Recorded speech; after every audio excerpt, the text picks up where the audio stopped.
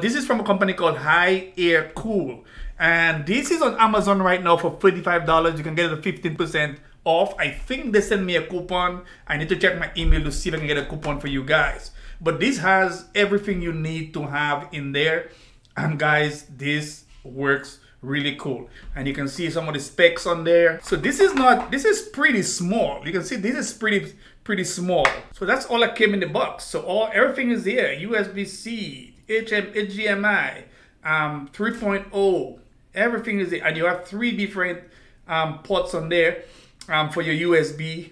Ah, another mini mini SD and the large SD card on there, guys. And the Ethernet port right on the side here. So you can see my laptop either. You can see I have a whole bunch of stuff connected on the side here. All my ports is, is filled up. I have another USB connected here. Um, you can see I have a HDMI, USB, USB on there. I have I have the charger which charges the the laptop itself, and I have another Type C connected to my phone right now on there. So lots of stuff there. I also have a USB strip right here, which I have chargers up there, and then I plug in some of my stuff on there. But let's change everything here guys. So you can see right there I have an extra monitor connected right here to the laptop. So let's start switching stuff around. Okay the first thing we want to do is let's plug this in. So we have the laptop it's charging right now. So we're gonna remove one of the USB and this is a Dell laptop. So this will work perfect. So we're gonna plug this in. So plug this in plug this in here. So we're charging so that's good. So the next thing we're gonna do Let's take out the HDMI cable. Take out the HDMI cable. You can see everything came on that side.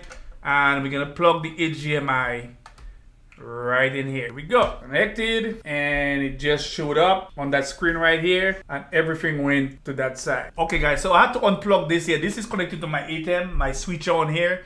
So we had to cut off to put this on. So now we have a usb on this side connected to this. This usb here on the side is connected to that strip on the side there. Actually, I have this connected to it.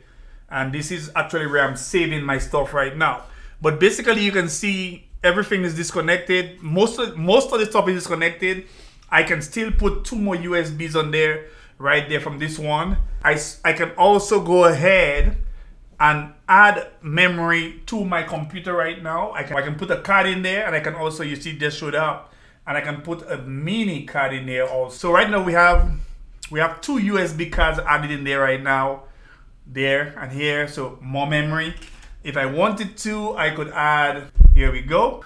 it just showed up, it's scanning. And we could still add some more on there if we wanted to. There we go. Here's all the stuff that we just added here. Just adding that 8-in-1 hub on there has freed up a bunch of ports on my side and I can add more stuff to it and you can even add your ethernet on there because some laptops this laptop right now doesn't come with an ethernet port on it.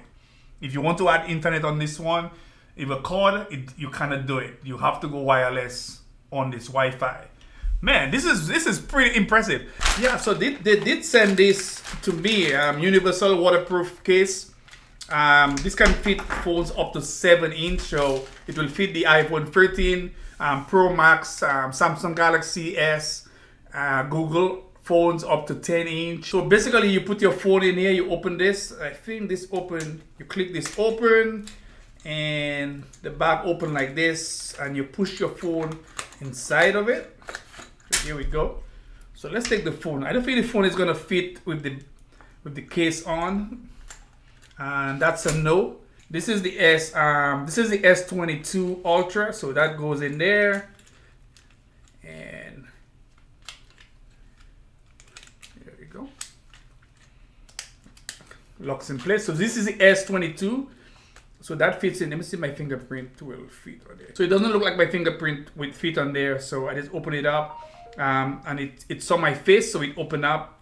Uh, let's close it down again so it's closed.